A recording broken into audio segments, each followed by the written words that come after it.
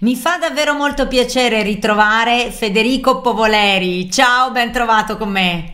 Ciao Beatrice, è un piacere essere qui di nuovo a te, con te. Scusami e un saluto a tutti i tuoi ascoltatori. Grazie, grazie a Federico Povoleri, ricordo regista e scrittore, già autore di Sublimen, che è un libro che abbiamo avuto modo di conoscere qualche mese fa e quindi esci con un nuovo libro che si chiama Sublimen 2 in questo caso alla conquista delle menti, cioè il lato oscuro di Hollywood. Beh, è un libro che subito si presenta come impegnativo. Se nell'altro avevi citato la propaganda, eh, naturalmente presa no? qua e là attraverso le opere eh, letterarie, attraverso il cinema, no? ricordiamo, abbiamo parlato anche dei cartoni animati, in questo caso invece sei più diretto sul cinema, che è un po' il tuo pane, se vogliamo. Sì, eh, sentivo il bisogno di approfondire alcune argomentazioni. In Sublime, nel primo libro Sublime, ho, ho, affrontato un po' la propaganda a 360 gradi, eh, però ovviamente in modo ridotto, perché non, altrimenti avrei dovuto scrivere un tomo di 400 pagine. E così in questo secondo libro ho deciso di affrontare più il tema proprio dell'intrattenimento del cinema. Ok, senti, eh, la prefazione intanto è di Massimo Mazzucco, eh, che naturalmente sappiamo essere intanto amico e, e, e, una persona con la quale tu hai collaborato, quindi ti avrà certamente fatto piacere. Che dice Massimo di, di questa tua opera? No, Massimo è ovviamente contento e lui mi esorta sempre a fare anche il film. Lui mi dice: Sei la persona che deve fare il film sulla propaganda. E vabbè, chissà che non riesca a convincermi e che prima o poi non riesca a mettere in piedi questo progetto. No, ma lui è contento comunque, riconosce sempre che ho fatto un buon lavoro e questo mi fa molto piacere perché avendo collaborato con lui molti anni eh, è bello sentire anche sua, il suo appoggio, la sua vicinanza in questo lavoro che fa. Assolutamente sì. Ascolta, quindi andiamo direttamente su, su questo libro. Hai sentito quindi eh, l'esigenza di sviscerare, se vogliamo, ulteriormente questo argomento. Perché? Perché eh, vabbè, io sono un grandissimo appassionato di cinema, mi piace da, da sempre e mi sono reso conto che negli ultimi, se è sempre esistito un cinema di propaganda, però negli ultimi anni è diventato preponderante, cioè da quando praticamente le, le, grandi famiglie di Hollywood, no? la Warner Bros., la Metro Goldwyn Mayer, eccetera, hanno venduto i loro studios, li hanno stati acquisiti da delle grandi multinazionali, ehm, ad esempio la, la, Sony ha comprato la Columbia, ma adesso la Disney ha comprato addirittura la Fox e un sacco di altre, la Pixar, eccetera. E, appunto tutti questi studi sono diventati praticamente dei laboratori di propaganda a, um, a tempo pieno e quindi ho sentito l'esigenza di eh, parlare di questi film, di raccontare un po' come funziona la propaganda fin da, dalle, dagli esordi del cinema e come si è trasformata fino ad arrivare ai prodotti che vediamo oggi. Ok, perché naturalmente tu proprio sottolinei, l'hai appena detto, che la propaganda è partita subito, cioè probabilmente perché il cinema inizialmente eh, ha avuto un taglio proprio eh, di essere legato al sistema, no? Cioè eh, ci sono state all'interno dei regimi eh, sicuramente dei registi eh, che consenzienti hanno apportato nelle loro opere eh, il bene e il male del regime stesso. Sì, assolutamente, ma eh, pensa che si è compreso subito, fin dai, dall'invenzione della pellicola, il potere che aveva l'immagine. Eh, il primo film, probabilmente il più grande film di propaganda che c'è, è quello che realizzò la Reifenstahl, un documentario sul congresso israeliano, lo conosci, cioè famosissimo, eh, che è spacciato per essere un documentario, quindi una, una semplice cronaca di questo, di questo congresso del Partito Nazionalsocialista, ma in realtà è stato un vero e proprio film dove sono, state ehm, utilizzate comparse, effetti speciali, eccetera, eh, che hanno reso questo film di, un, di, un, di una potenza tale ehm, che ha, ha scatenato un, un'onda emotiva nel mondo incredibile, addirittura in America ha vinto un Oscar, cioè è stato riconosciuto in tutto il mondo come un'opera di grande forza e da lì si è capito subito che il cinema poteva essere utilizzato proprio come un'arma, un'arma di propaganda. Quindi dall'esperienza diciamo, nazista e poi da quella americana, che, che, ha visto nascere negli anni 50 un ufficio dedicato proprio alla propaganda cinematografica, da lì poi si è sviluppata fino a perché all'inizio era una propaganda legata soprattutto, vabbè, nei tempi di guerra ovviamente propaganda bellica, no? però nel dopoguerra è una propaganda sempre comunque di tipo militare e legata alla sicurezza nazionale, specialmente in America. Eh, ad esempio, so, c'è un film di fantascienza famosissimo che è L'invasione degli ultracorti degli anni 50 di Don Siegel, che è un manifesto anticomunista, no? eh, praticamente questi baccelli che venivano eh, rilasciati nelle case e che producevano dei duplicati delle persone, però svuotati di ogni personalità, era proprio un, uh, un feroce attacco al pensiero comunista eh, ed è uno dei film più famosi della propaganda dell'epoca. Però se appunto in quegli anni la propaganda era eh, limitata a questo, quindi a una sorta di nazionalismo, di, di attacco appunto al comunismo, oppure comunque sempre eh, legato alla sicurezza nazionale, negli ultimi anni, eh, da quando appunto le grandi multinazionali hanno acquisito eh, gli studios, eh, il cinema è diventato un veicolo per propagandare qualsiasi cosa. E nel libro parlo di una cosa interessante, perché che ho scoperto facendo varie ricerche, che non è più solo il governo che utilizza il cinema, ma sono nate un sacco di associazioni private, è un po' la storia della terza parte di cui parlavo nel primo libro, associazioni private però finanziate sotto banco da gente potente come per esempio la Hillary Clinton eh, e altri personaggi, che sono tutte associazioni per i diritti, ad esempio i diritti LGBT, oppure i, la, i diritti per, ehm, per, le persone di colore, o le, la salvaguardia del clima, del, del, tutte queste cose qui. Queste associazioni sono finanziate con tantissimi soldi e intervengono direttamente, fanno delle riunioni con i registi, con i sceneggiatori, perché vogliono introdurre nei film le loro argomentazioni. E c'è addirittura una di queste associazioni che è riuscita e si è, mh, si è preposta di arrivare entro il 2025 ad avere il 70% delle pellicole che trattano temi LGBT. Guarda, tu in, in questo poco tempo hai toccato diversi argomenti che io reputo estremamente interessanti. Il primo è proprio quello che hai detto da ultimo, e cioè il fatto che adesso c'è questa sorta di forma di politicamente corretto per cui necessariamente bisogna dare spazio a determinati argomenti e temi e anche utilizzare un linguaggio ad hoc perché eh, certe forme di Uh, linguaggio, comunicazione, anche le battute eh, più trash che venivano fatte, no? Immaginiamo il cinema italiano, quello del cinepanettone natalizio, eh, eh, cominciano ad essere film che non sono più tanto accettati, al punto che eh, mi trovavo in un'intervista con Carlo Verdone e lui lamentava proprio, parlandomi, eh, lamentava questa cosa, dice non si può più fare, non posso più fare un film con un'attrice mezza nuda che subito vengo additato per. Eh, quindi il, il risultato è che uno si vede inglobato in una situazione in cui poi è difficile anche districarsi perché eh, devi accontentare questo e, e, quell'altro senza scontentare, no? Eh, è un po' complicato fare il cinema in questo modo. No, è molto complicato, eh, specialmente se poi pensiamo che ad Hollywood comunque non esiste una reale libertà del regista, no? ci sono appunto mh, mm, mille compromessi da dover accettare per portare avanti il proprio film.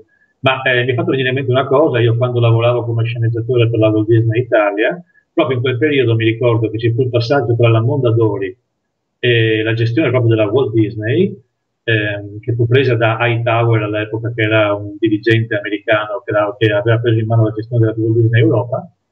E con questi cambiamenti iniziava ancora all'epoca, che parlo del, della metà degli anni 90, iniziava all'epoca appunto questa epurazione di termini, situazioni, eccetera. Ad esempio, eh, volevano togliere addirittura l'archibugio Paperone.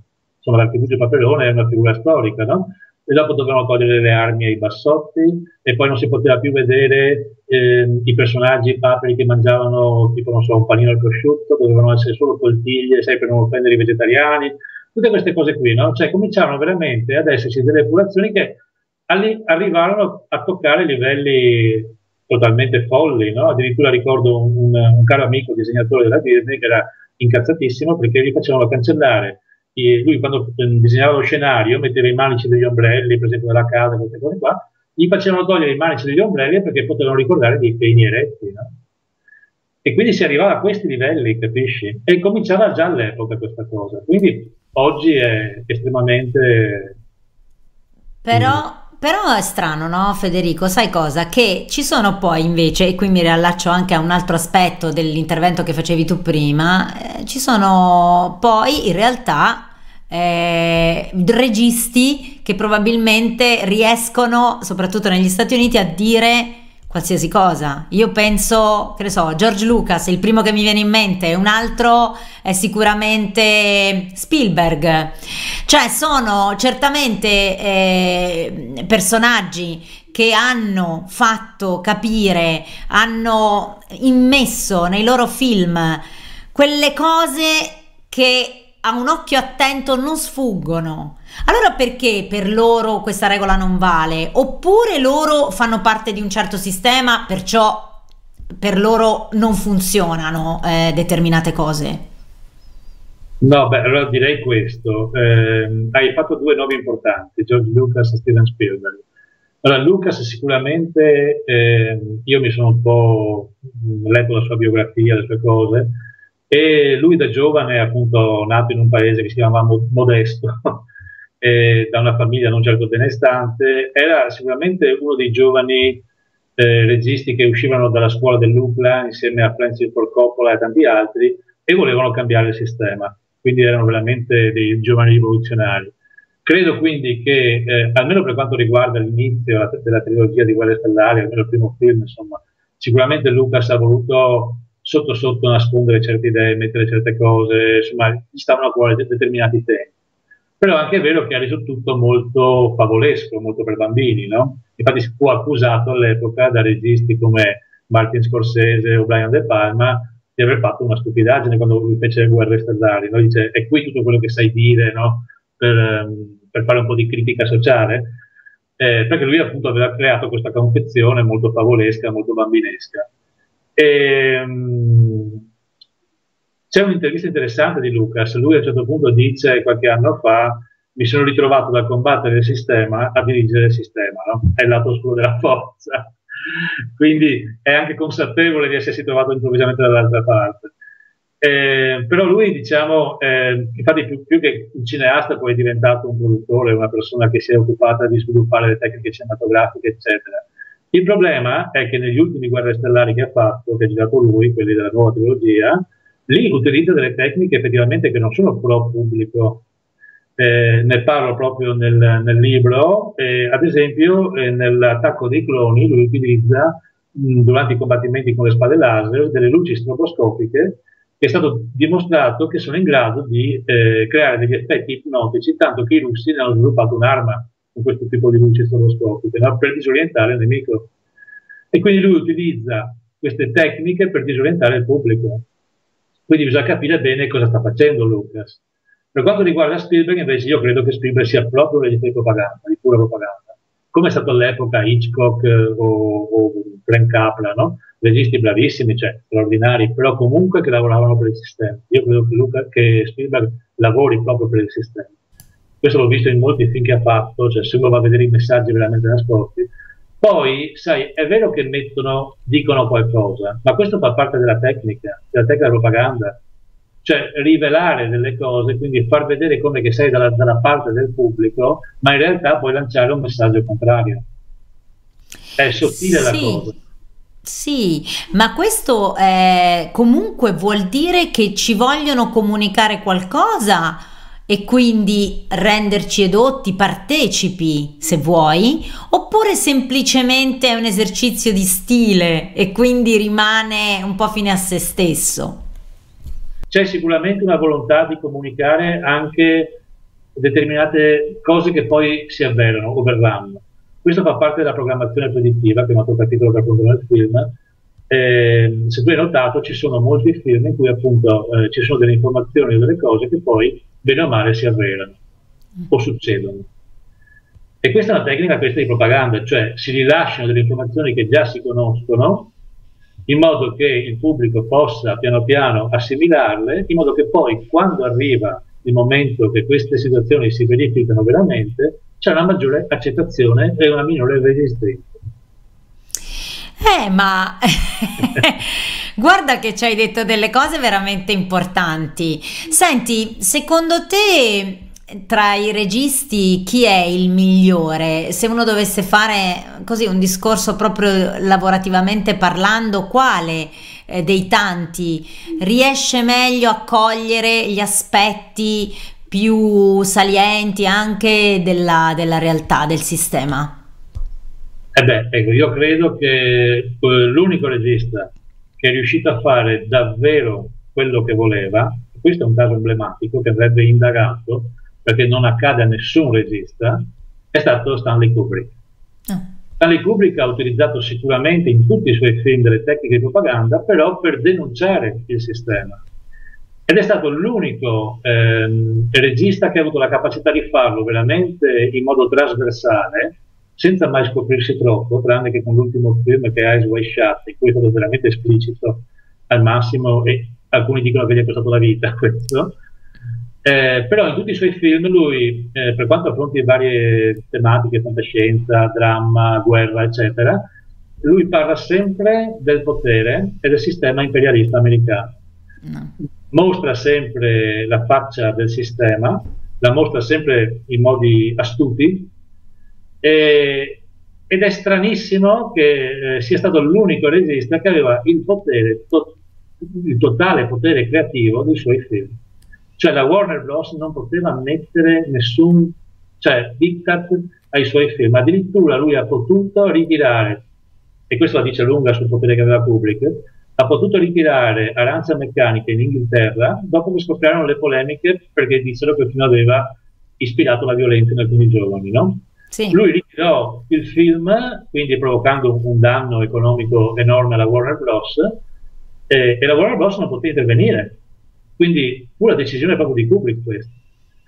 E alcuni dicono, poi sai, qui entriamo in campi in cui è difficile un po' eh, barcamenarsi, però alcuni dicono che Kubrick aveva questo potere perché era, sta- era, stato l'uomo che aveva aiutato a girare i falsi allunaggi dell'Apollo 11. E quindi, essendo stato vicino agli ambienti governativi, avendoli aiutati a realizzare queste cose, aveva ottenuto in cambio tutto questo potere che nessun altro regista nella storia ha mai avuto. A meno che non fosse veramente indipendente, ma pubblico non era indipendente, cioè nel senso lavorava per i grandi studios, no? Sì. Non faceva film eh, in economia. Sì. Poi questo non lo so se è vero oppure no, però di, sicuramente la sua indipendenza era, è emblematica, è sicuramente emblematica. Sì, ma poi ci sono questi registi che fanno spendere una barca di soldi alle eh, case di produzione, cioè eh, avevo ascoltato tempo fa un'intervista di Spielberg che lui diceva che lui costa tantissimo. Realizzare un suo film costa tantissimo, però ne andava fiero, eh, per carità di questa cosa. ma fino a che c'è qualcuno che paga va benissimo così. Invece ti volevo chiedere, ma se una persona volesse coglierli, questi messaggi, c'è un qualcosa a cui si può più prestare attenzione, eh, magari un atteggiamento o qualcosa che viene detto o fatto dagli attori stessi o una certa ambientazione o che cosa? Eh, beh, vedi, guarda, non è facile perché se tu pensi al, um, al cinema, la manipolazione del cinema è su moltissimi livelli perché può raggiungere la narrazione, quindi la storia, no? cioè può essere quindi una storia che contiene degli elementi di propaganda, l'immagine, quindi il tipo di inquadratura, come viene inquadrato un film, eccetera, l'uso della musica o dei suoni, ehm, il montaggio, eh, secondo il maestro russo della quartetta Pontionchi, il, il montaggio è un elemento che può essere pensato matematicamente per scatenare una reazione emotiva nel pubblico e suscitare nuove associazioni di idee. Quindi vedi quanti elementi ci sono? Dovresti cominciare ad analizzarli tutti, addirittura la palette di colori, no? Sai che ogni regista quando fa un film sceglie anche il tipo di colore che gli interessa, quindi studiano la palette di colori. E tutto è, mh, praticamente può essere utilizzato per veicolare messaggi. Quindi bisogna avere una conoscenza che è molto ampia, che attraversa tutti questi, questi campi. E non è per nulla facile. E poi ci sono messaggi sicuramente rivelati in modo abbastanza esplicito. Ho visto per esempio un montaggio poco tempo fa, proprio su YouTube. Uno aveva raccolto eh, un eh, 40-50 film in cui c'è una sequenza dove l'attore mostra la mano in primo piano e ha un anello con il simbolo massonico. E tu vedi un montaggio di 50 film che mostrano sempre una sequenza così, capisci? Quindi lì cioè, non può essere una casualità, no? 50 film, tutti e 50, c'è l'attore che a un certo punto arriva a un primo piano, ti mostra l'anello con il simbolo massonico, è, è un messaggio che viene dato a qualcuno, insomma, che viene in qualche modo mostrato volutamente. Sai, adesso che parli mi è venuto in mente Matrix, che è uno di questi film che vengono più citati in questo ultimo periodo. E la pillola rossa, la pillola blu, il cucchiaino che si piega oppure no, eh, questo mondo virtuale eh, rispetto ad un altro che c'è. Insomma, eh, a proposito di messaggi che uno vuole lanciare o che vuole far trasparire, certamente questo è, è così. E quindi un attimo eh, stavo appunto riflettendo su questo e su altri film che nel frattempo mi sono passati in mente dicendo ma questo potrebbe essere rappresentativo. Secondo te qual è il film più rappresentativo della propaganda che tu dici allora guardate questo ragazzi perché questo sicuramente vi darà delle risposte. Eh, oppure facciamo così, dammene tre di titoli perché forse sceglierne uno è un po' complesso. No, guarda, invece di darti un titolo ti dico una cosa. Consiglio, consiglio a tutti di riguardare i sì. vari rifacimenti dei classici se uno guarda tutti questi rifacimenti, hanno rifatto Batman, hanno rifatto tutti i... Ah, tu parli film, proprio okay. delle cose di fantascienza, quindi dei supereroi, non dei classici in generale. Anche i classici in generale. Se ah. tu guardi i film più importanti dove ci sono stati determinati messaggi, ad esempio Il pianeta delle scimmie del 70, è un film del 68, scusami, è un film veramente importante, scritto poi da Rod Serling, che non era un cretino qualsiasi, ma uno che veramente eh, è l'inventore dei confini della realtà, no? della serie televisiva dei confini della realtà. Uno che aveva molte cose da dire ed è un film veramente interessante. Se tu guardi il rifacimento che hanno fatto poi, nei, in anni recenti, tutti gli elementi di critica sociale, di critica al sistema di quel film sono scomparsi. Ah, ecco. Quindi hanno rifatto il film con gli effetti speciali più belli, più d'azione, più di pathos, però hanno tolto tutti quegli elementi riflessivi che invece nel primo film facevano riflettere il pubblico, facevano pensare, no?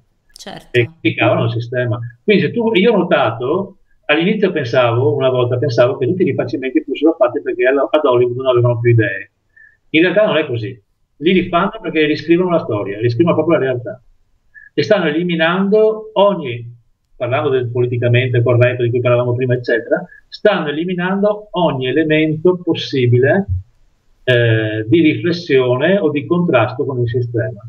Quindi se uno riguarda l'originale e poi il film rifatto, e ce ne sono parecchi ultimamente da poter rivedere, si rende conto proprio di queste cose. Noi in Italia possiamo stare tranquilli, prima ti parlavo del cinepanettone.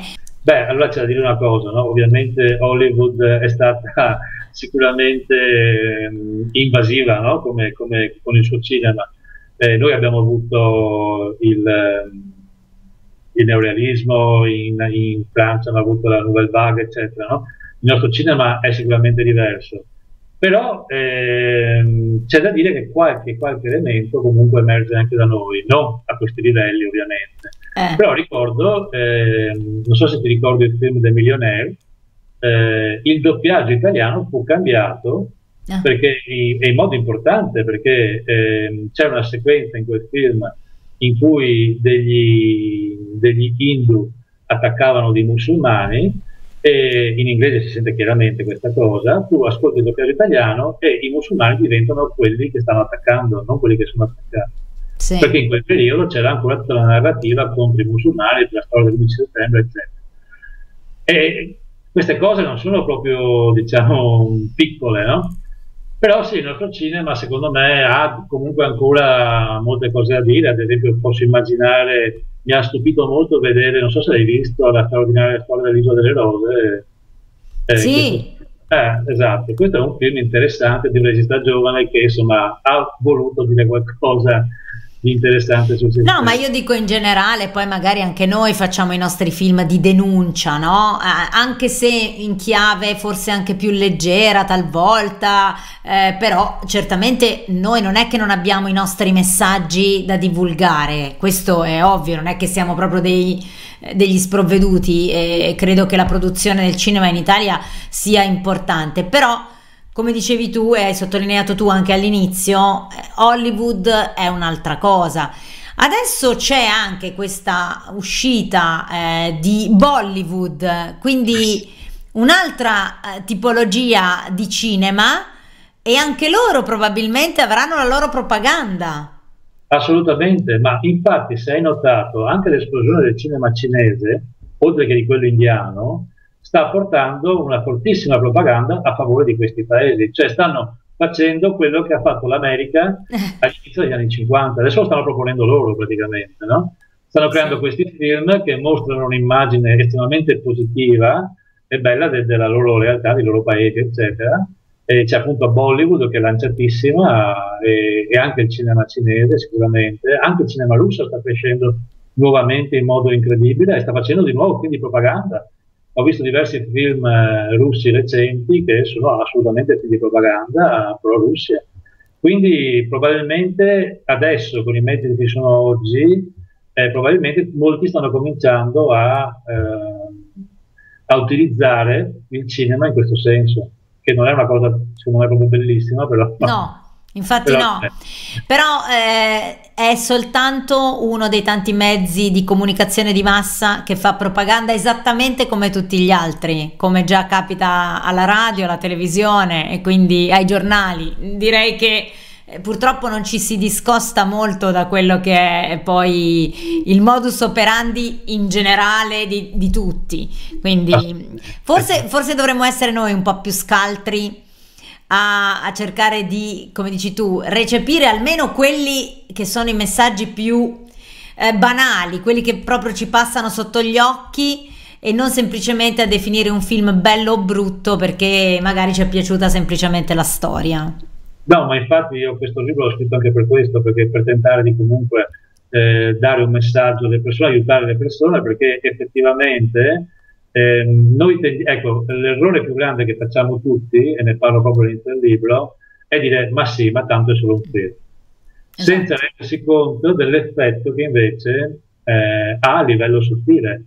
Perché sì, è vero che è solo un film e che quando è passata quell'ora e mezza noi usciamo dal cinema e siamo consapevoli di aver assistito a una finzione, però tutti i messaggi che sono stati veicolati in quell'ora e mezza continuano a fermentare nelle nostre teste e producono nuove associazioni di idee che poi produrranno le nostre opinioni.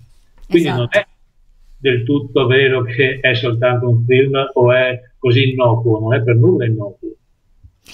Alla conquista delle menti, il lato oscuro di Hollywood, Sublimen 2, questo è il libro di Federico Povoleri con la prefazione di Massimo Mazzucco.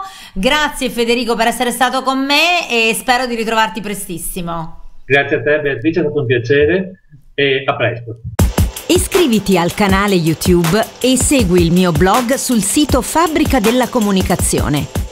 Ti aspetto con le mie interviste su davvero.tv e tutti i giorni su Focus Radio.